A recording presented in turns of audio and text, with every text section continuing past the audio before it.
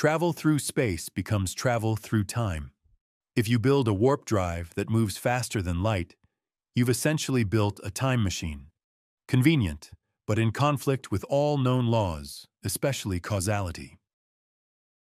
In the case of superluminal travel with a warp drive, there's another issue besides causality, the event horizon problem. It turns out that when the bubble moves faster than the speed of light, the metric becomes singular, similar to that of a black hole. Two horizons appear, a positive and a negative one, equivalent to the event horizons of a black hole and a white hole.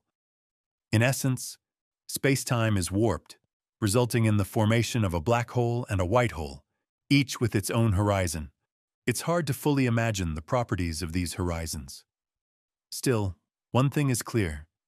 They would prevent the warp drive crew from controlling how matter or energy is distributed to specific regions of the bubble.